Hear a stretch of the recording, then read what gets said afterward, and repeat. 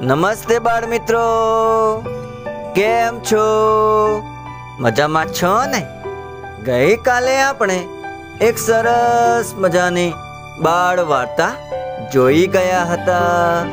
ખરું ને?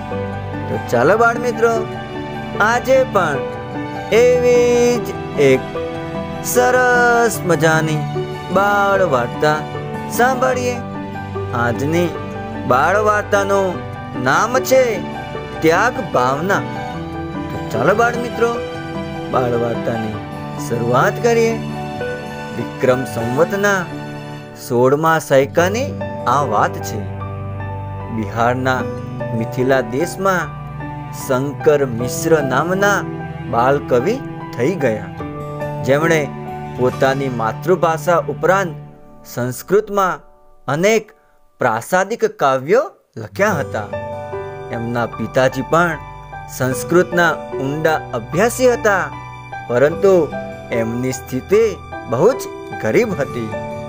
નાનપણથી જ શંકર મિશ્રની બુદ્ધિ ખૂબ તીવ્ર હતી. એમના બાળપણનો આ પ્રસંગ છે. એક દિવસ મિથિલાના રાજાની સવારી શંકરના ગામ આગળ થઈને જતી હતી. રાત પડી જવાથી રાજાએ ગામની બાગોડે મુકામ કર્યો.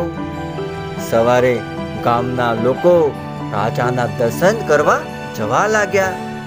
એમની સાથે બાળકોના ટોળા પણ ઉમંગભેર ત્યાં જઈ પહોંચ્યા.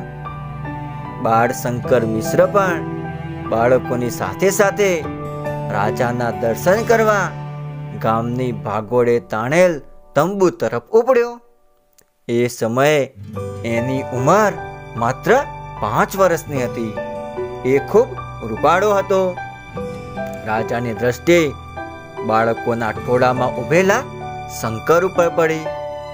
એ સમયની પ્રચલિત સંસ્કૃત ભાષામાં પ્રેમપૂર્વક રાજાએ બાળ શંકરને પૂછ્યું, તું મને એકાદ કવિતા સંભળાવી શકીશ?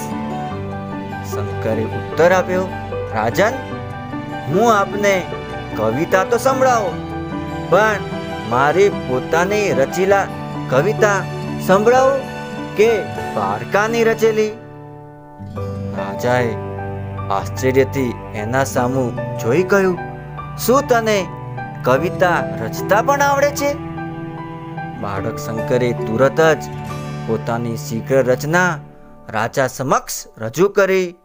બાલોડહન જગનાંદલે, મે બાલ સરસ્વતી, અપૂર્ણે પંચમે વર્ષે વર્ણયામી જગત્રયમ. હે જગતને આનંદ આપના નરેશ, હું બાળક છું, પણ મારી વિદ્યા કઈ બાળક નથી. હજુ તો મને પાંચમું વર્ષ પણ પૂરું થયું નથી, પરંતુ ત્રણેય જગતનું વર્ણન હું કરી શકું છું. આ શ્લોક સાંભળી રાજા ઘણો જ પ્રસન્ન થયો. એણે પોતાના ખજાનાનો પટારો શંકર સામે ખુલ્લો મૂકીને કહ્યું, બેટા, આમાંથી તારાથી લઈ શકાય. એટલે સોના મહારો લઈ જા. શંકર તો પોતાના બંને હાથમાં જેટલી સમાય, એટલી સોનો મહારો લઈને હરખ ભર્યો, પોતાના ઘર તરફ ચાલવા લાગ્યો. એના ઘેર પહોંચતા પહેલા જ એના ઘરે આ વાતના સમાચાર પહોંચી ગયા હતા. બાળ શંકર રસ્તે જતા મનમાં જ વિચાર કરતો જતો હતો કે આટલી બધી સોના મહોરો મારા હાથમાં જોઈ મારી માતાના હરખનો પાર નહીં રહે અને મને પ્રેમથી વધાવી લેશે. પરંતુ ઘેર પહોંચ્યા પછી એને ઉલટો જ અનુભવ થયો. શંકરની માતા પુત્રને ખોબો ભરીને સોના મહોરો લઈ આવતો જોઈ તરત જ ઘરના આંગણામાં ઊભા રહીને બોલે, ખબરદાર, ત્યાં જ ઊભો રહે છે. ઘરમાં આવીશ નહીં. મારી પ્રતિજ્ઞા પર પાણી ફરી વળશે. મૂળ વાત એમ હતી કે શંકરના જન્મ વખતે એના માતા પિતાની સ્થિતિ એટલી બધી ગરીબ હતી કે દાયણને સુવાવડના મહેનતાણા બદલ આપવાના પૈસા પણ તેમની પાસે નહોતા. એથી શંકરની માતાએ દાયણને વાયદો કર્યો હતો કે આ બાળક પોતાની પહેલી કમાણી કરી જે લાવશે એ બધું હું તને આપીશ. આમ પોતાની પ્રતિજ્ઞાનું પાલન કરવા શંકરની માતા એને બહાર જ ઊભો રાખી દાયણને ઘેર જઈને તેને બોલાવી લાવી અને તેને કહ્યું, દાઈમાં, આજે મારો પુત્ર પ્રથમ કમાણી લાવ્યો છે. મેં તમને આપેલ વચન પ્રમાણે એ બધું ધન સ્વીકારીને મને કૃતાર્થ કરો. દાઈ તો એ વાત ક્યારની ભૂલી ગઈ હતી. તેને તો સપને પણ ખ્યાલ નહોતો કે એક સાધારણ સેવાના બદલામાં મને આટલું બધું ધન આપનાર કોઈ મળશે. એ લાલચુ ન હતી. એ ધન લેવા એણે ઘણી જ આનાકાની કરી. પણ ગરીબ બ્રાહ્મણે પોતાની પ્રતિજ્ઞામાં અડગ રહી.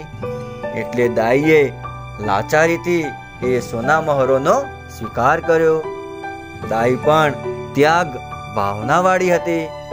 એણે એ સોના મહોરોનો ઉપયોગ પોતાના સુખ માટે ન કરતા એક તળાવ ખોદાવ્યું. આ તળાવ આજે પણ દરભંગતમાં બિહાર શ્રી સિદ્ધેશ્વરીના મંદિરની ઉત્તર દિશામાં આવેલું છે અને તે દાયના તળાવને નામે ઓળખાય છે. ધન્ય છે એ દાયને અને ધન્ય છે શંકર મિશ્રની નિર્ધન માતાના પ્રતિજ્ઞા પાલનને. બાળ મિત્રો, અહીંયા આ સરસ મજાની બાળ વાર્તા પૂર્ણ થાય છે. આવતીકાલે નવી બાળ વાર્તા સાથે ફરીથી મળીશું. ત્યાં સુધી તમારા આ દોસ્તને રજા આપશો. આવજો.